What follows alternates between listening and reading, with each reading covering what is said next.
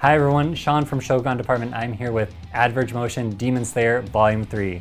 These are two inch characters that are replicating scenes or action poses from your favorite animes such as Demon Slayer.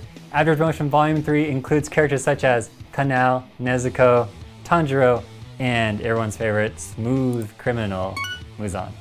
These characters are replicating action poses from the anime so let me know in the comments below what character you want to see next as an Adverge Motion Demon Slayer character, or what is your favorite scene from Demon Slayer. So make sure you're following at Bluefin Brands to stay up to date on anything Shokugan or just Bluefin related, and I'll see you in the next one. Shokugan.